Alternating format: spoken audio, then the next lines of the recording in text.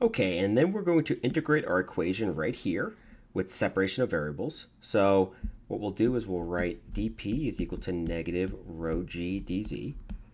We'll integrate both sides of that equation. And we'll remember that since we're dealing with an incompressible isothermal fluid and a constant gravitational field, the product rho times g is constant, so we could pull that out of the integral.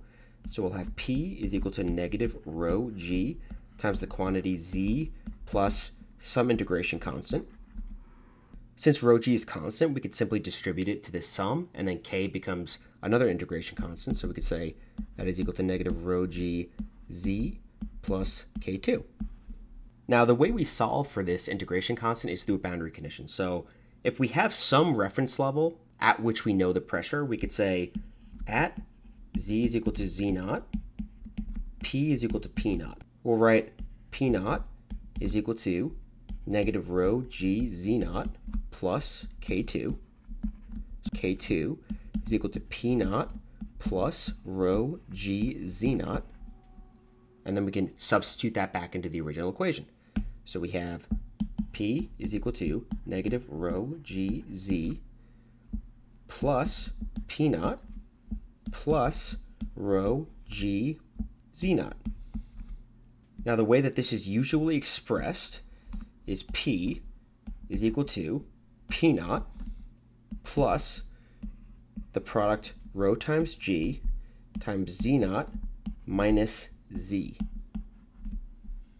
So traditionally, this equation is actually written in terms of a distance. So what we could say is if we have a free surface, let's say this is the free surface right here, and we'll say this is Z naught, and at Z naught, our pressure is P naught, and we have some point of interest down here, which we'll call z, at which the pressure is p. We have some distance h, right? So what exactly does that mean? That means that if we establish our z coordinate as positive up at the free surface, then this difference right here will have p equals p naught plus rho g 0 minus z. z, in this case, is below the free surface. It is below the origin, so z is negative. z is always negative when you define z as positive up originating at the free surface. So in that case, we could just say that since z is always negative in this setup, we could say that that is equal to p naught plus rho g h. Again, this expression of the hydrostatic pressure equation completely depends on z being positive upwards, which we already know is required from a previous part of the analysis, and originating at the free surface of the fluid that we care about, right? Because when the coordinate system originates at the free surface, the point of interest is always negative. The point of interest is always negative. So z is always negative. So in this expression up here, we have 0 minus z. z is always negative. So this is always a positive number. This difference is always a positive number. So we might as well just use the distance from the free surface h where h is always a positive number, and h is the distance down from the free surface to the point of interest. So this is actually the final form of our hydrostatic pressure equation, and we will write the formalism for it on the next page, and then we can actually start using it to solve some fluid statics problems. So analyzing U-tube manometers, sphygmomanometers, inclined tube manometers, compound manometers, etc. So let's go into the next page, establish the formalism, and then go from there. Okay, so here's the formalism for our final version of the hydrostatic pressure equation. We'll note that P is the pressure at depth h from the free surface, P naught is the reference pressure or the pressure at the free surface, h is the distance down from the free surface to the point of interest, h is a distance, so it's always positive, rho is the density of the fluid, and g is the magnitude of gravitational acceleration, so g is also always positive. So here we have our diagram on the right, we have our free surface, at which the pressure is P naught, we have our depth h down from the free surface to the point of interest where the pressure is p. The coordinate axes originate at the free surface and z is positive upwards, and g is downwards, acting parallel but opposite to z. So again, some of our fundamental assumptions for this equation. One, we're dealing with a static fluid. Two, gravity is the only body force. Three, the z-axis, or k hat, is positive vertical, opposite but parallel to gravity as shown here. Four, we have an isothermal and incompressible fluid such that rho is constant. 5, g is constant, the magnitude of acceleration due to gravity is constant. And 6, the axes originate at the free surface as shown here. So z equals 0 is the free surface, and z again is positive up. So as I mentioned previously, this equation is incredibly powerful and we will get a lot of use out of it over the course of our fluid studies. So in fluid statics, it is the starting point for most analyses, and even in fluid dynamics, we use it in a few derivations and we use it as a point of reference. So this equation is one of the fundamental equations of fluid dynamics, and we will see it a lot over the course of this study. Keep in mind what the variables stand for, keep in mind some of the fundamental assumptions, keep in mind kind of the prototypical pictorial representation, and we will come back to this equation many times. So I did mention that I would review some of the more physical derivations of this equation, so I will touch upon those pretty quickly.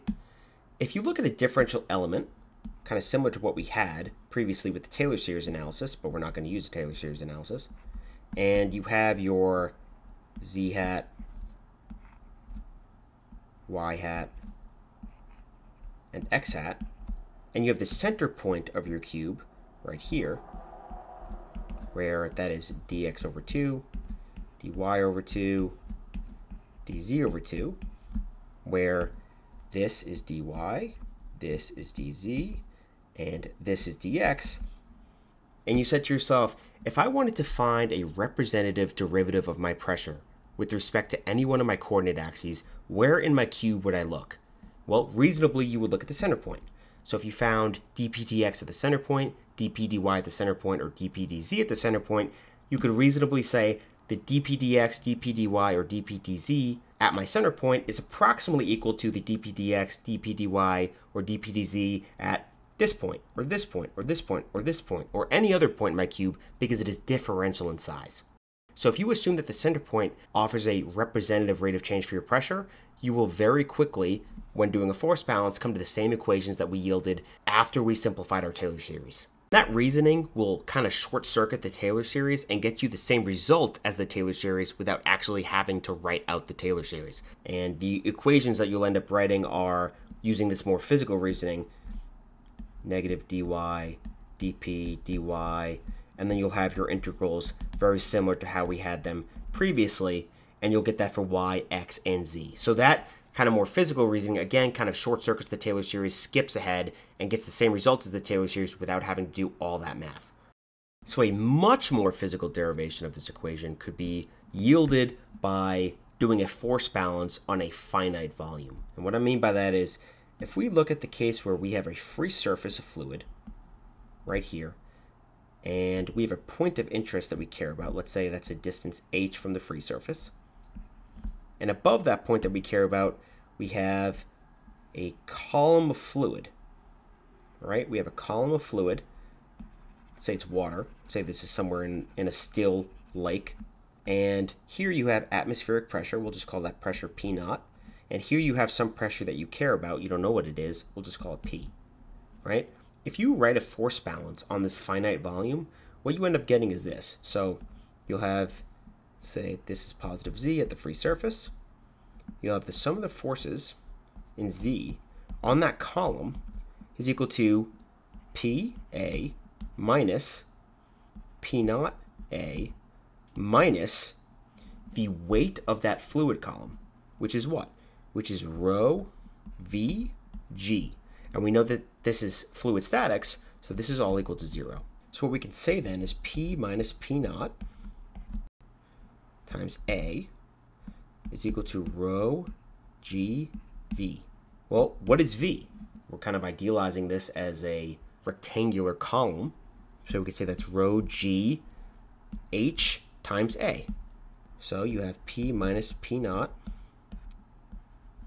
a equals rho g h a. A cancels on both sides. And what do you have? P minus P naught is equal to rho GH or P is equal to P naught plus rho GH. Now, I know you're probably looking at this and saying, why did we go through all of this formalism with the Taylor series to get the same result as what took us effectively 30 seconds with this Newtonian finite analysis here?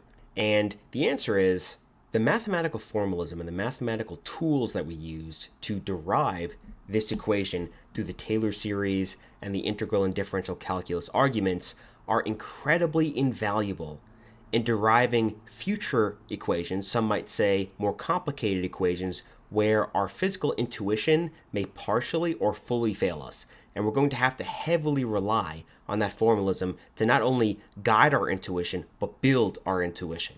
So there are many equations in transport phenomena in heat, energy, and momentum transport where physical intuition will not get us very far, and we really have to heavily rely on these mathematical tools to get us to the finish line. So this is a great proving ground to get ourselves familiar with those tools, to get ourselves comfortable with the arguments that we make using those tools, such that when we get to those more complex equations, we're ready to go. But regardless, in this case, the result derived from our physical intuition exactly matches the result derived from our mathematical analysis, and that's why we have such high confidence in this result. Because when your physical intuition matches with your mathematical intuition, so to speak, that's when you know you're at the intersection of something really powerful. Okay? So that should be it for this video. I really appreciate it. In future videos, we're going to be using this equation a lot to analyze sphygmomanometers, U-tube compound manometers, and some forces on submerged objects, etc. But that will be for future videos. Thank you very much for sticking around. I appreciate you watching, and I will see you next time.